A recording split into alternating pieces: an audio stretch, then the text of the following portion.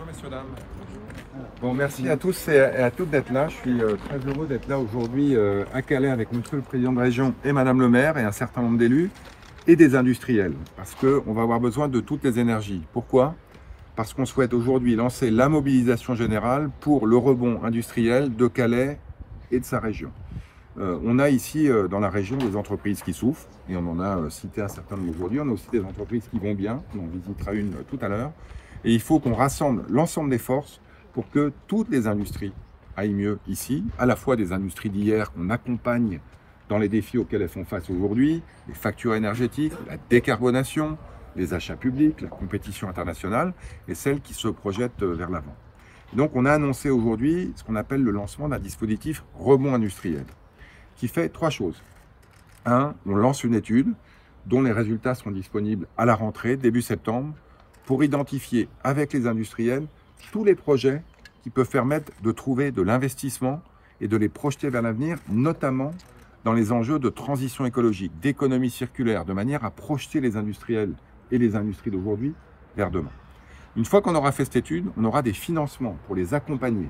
Au minimum 1,5 million d'euros qui sont déjà fléchés, qui sont déjà identifiés, voire plus si on trouve des dispositifs si on trouve des projets qui permettent d'entrer dans tous les dispositifs de France 2030 qui accompagnent aujourd'hui les industries vers la décarbonation, vers l'innovation, vers l'exportation.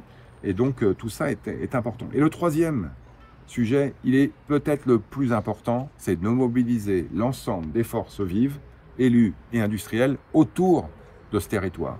On a aujourd'hui, je les ai vus aujourd'hui, des gens extrêmement dynamiques, qui sont attachés au territoire, des entreprises qui sont présentes depuis des décennies, il faut qu'on crée l'équipe de France de l'industrie du Calaisie, Madame le maire, de manière à ce que tout le monde puisse travailler ensemble. Il y a des projets communs, il y a des sujets communs. Euh, des réseaux de chaleur, des enjeux d'approvisionnement d'électricité, des enjeux euh, de décarbonation qu'on peut traiter ensemble. Comme toujours, ensemble, on est plus fort que tout seul. Donc c'est aujourd'hui vraiment la mobilisation générale qu'on a souhaité porter. L'idée un peu, c'est que effectivement euh, Calais finalement suive le même chemin que, que, Dunkerque où vous étiez ce matin? Alors en tout cas, ce qui est clair, c'est que c'est pas le match Calais-Dunkerque, aller et retour. moi, je souhaite que l'industrie se développe partout. Il peut y avoir des synergies entre les, les deux zones. Il y a des choses qui se développent à Dunkerque qui peuvent avoir des, des, impacts dans la région. On a beaucoup parlé de logement et de transport ce matin. On peut avoir aussi des industries qui sont des sous-traitants de grandes entreprises qui sont en train de s'installer à Dunkerque. Donc on joue surtout pas l'un contre l'autre. On joue l'industrie ensemble. Mais il y a des particularités dans le territoire qu'il faut pouvoir valoriser. Ce dispositif rebond industriel, il a été utilisé pardon, à Béthune, quand Bridgestone a annoncé la fermeture. C'est un succès. Aujourd'hui, Béthune revit. On l'a lancé avec Monsieur le Président de Région à Cambrai, il y a quelques mois à l'occasion malheureuse de la fermeture de l'usine Butoni et de celle de Tereos. Ça marche. On a aujourd'hui des industries dans Cambrésis qui sont en train de se redynamiser.